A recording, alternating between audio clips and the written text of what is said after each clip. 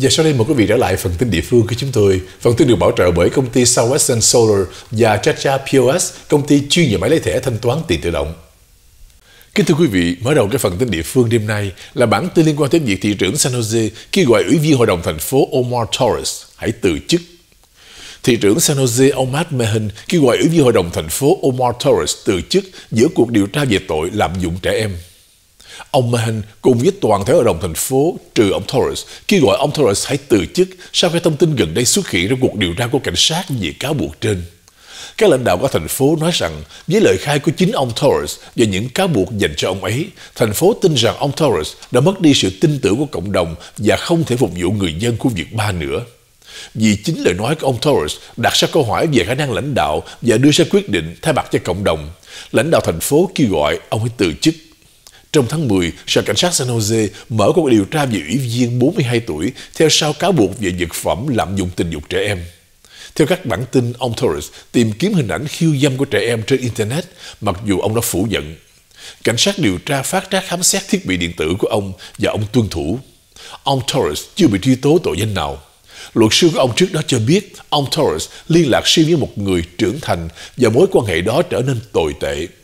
Hiệp hội Cảnh sát San Jose hôm thứ Tư tiếp tục yêu cầu ông Torres từ chức ngay lập tức và đặt câu hỏi tại sao lãnh đạo thành phố mất quá nhiều thời gian mới kêu gọi ông Torres từ chức. Nhà xây dựng đơn vị nhà ở phụ ADU nộp đơn phá sản, khách hàng thiệt hại hàng triệu đô la. Ông ta khoe khoang công ty khởi nghiệp 100 triệu đô la. Ông ta nói về chiếm lĩnh thị trường toàn quốc. Ông ta thậm chí mua một chiếc Bentley. Nhưng này, ông Colton Bohus công bố ông phá sản. Chuyện giám đốc điều hành ở Fair Oaks nộp đơn xin bảo hộ phá sản lên tòa liên bang là một thực tế khác đối với nhiều chủ nhà Bay Area có giao dịch với Encore Tiny Homes, công ty của ông Porhus. Khách hàng Giriza Sumamaya ở Cupertino cho biết bà cảm thấy bị lừa. Hàng chục chủ nhà, mỗi người đã nộp cho Encore Tiny Homes hàng chục ngàn đô la để xây dựng đơn vị nhà ở phụ ADU ở sân sau nhà. Ông Alan Miller ở Auckland cho biết họ không thông báo cho ông biết tiền của ông đã đi đâu. Tổng cộng, đơn xin bảo hộ phá sản của ông Paul Hurst liệt kê số nợ là 3 triệu 600 ngàn đô la so với 1.400 đô la tiền mặt. Hồ sơ cũng cho thấy ông đã tự trả lương cho mình khoảng 250 ngàn đô la một năm. Hiện tại ông thất nghiệp. Ông Paul Hurst liệt kê nhiều tài sản, mặc dù chúng gắn liền với thế chấp hoặc vay nợ. Ông liệt kê bất động sản trị giá 1 triệu 800 ngàn đô la gần Sacramento, bao gồm hai căn nhà và một mảnh đất. Ông liệt kê 3 chiếc xe, một chiếc xe bán tải GMC trị giá 75.000 đô la và một chiếc Ford trị giá 80.000 đô la. Cả hai đều được mua ngay khi doanh nghiệp gia đình ông phá sản, cộng với một chiếc Bentley, chiếc xe sang trọng mà ông nói trị giá là 106.000 đô la. Vụ phá sản thậm chí còn không đạt đến con số 100 triệu đô la như ông Paul tuyên bố về doanh nghiệp xây dựng ADU của ông. Khách hàng Maria Chapunova ở Walnut Creek nói rằng bà chỉ muốn biết tiền của bà đã đi đâu. Lương tối thiểu cao hơn có hiệu lực đối với nhân viên chăm sóc sức khỏe California. Một số nhân viên chăm sóc sức khỏe nhận lương thấp nhất ở California được tăng lương từ thứ Tư. Theo bộ luật của tiểu bang, dần dần tăng lương của họ lên ít nhất là 25 đô la một giờ. Nhân viên tại các cơ sở chăm sóc sức khỏe độc lập ở nông thôn sẽ bắt đầu nhận được lương tối thiểu là 18 đô la một giờ, trong khi những người khác tại các bệnh viện có ít nhất 10.000 nhân viên toàn thời gian sẽ bắt đầu được trả lương ít nhất là 23 đô la một giờ trong tuần này. Luật này sẽ tăng lương cho nhân viên trong thập niên tới với mức lương là 25 đô la một giờ, có hiệu lực sớm hơn đối với một số người so với những người khác. Theo Trung tâm Lao động UC Berkeley, khoảng 350.000 nhân viên sẽ phải được trả lương cao hơn theo luật này bắt đầu từ thứ Tư.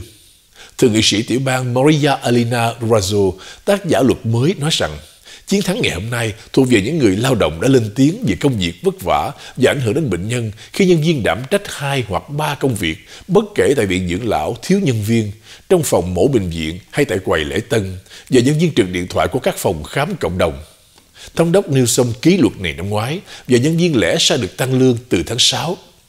Các nhà lập pháp và thống đốc năm nay đồng ý hoãn luật này để giải quyết thâm hụt ngân sách ước tính 46 tỷ 800 triệu Mỹ Kim. Lương tối thiểu của California đối với hầu hết người lao động trong tiểu bang là 16 đô la một giờ. Tháng 11 tới, cử tri sẽ quyết định có tăng dần mức lương này lên 18 đô la một giờ hay không. Đây sẽ là mức lương tối thiểu cao nhất trên toàn tiểu bang tại Hoa Kỳ trước năm 2026. Auckland gia hạn hợp đồng hệ thống phát hiện nổ súng Short Spotter.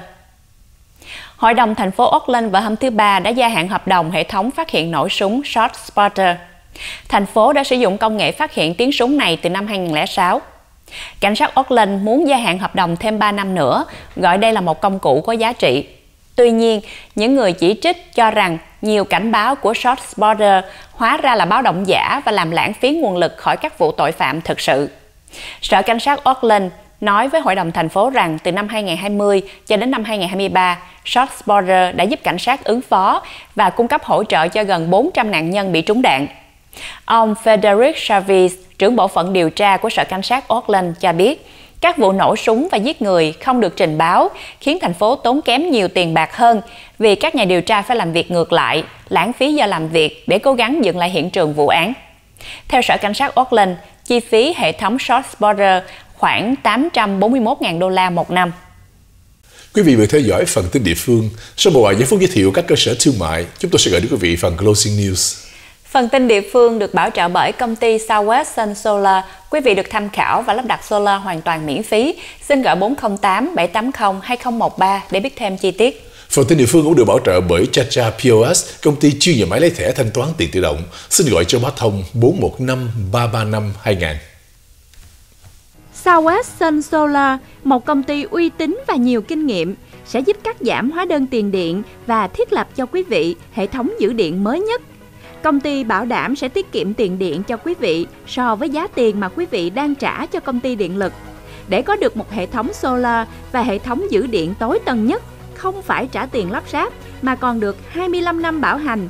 Xin đừng chần chờ gì nữa, hãy mau gọi ngay cho Southwest Sun Solar 408 780 2013 408 780 2013 Quý vị nào là chủ nhà hàng, chủ tiệm nails, chủ cơ sở thương mại muốn cài đặt hệ thống máy lấy order, máy credit card, máy ATM, hãy tham khảo hệ thống máy lấy thẻ của anh Châu Bá Thông.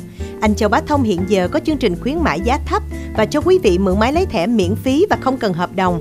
Anh Châu Bá Thông còn có máy POS, iPad, tablet lấy order tại bàn, rất thích hợp cho nhà hàng và tiệm nails.